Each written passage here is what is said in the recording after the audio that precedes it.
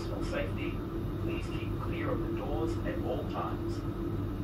If there is an emergency, please use the emergency alarm button located next to all doors.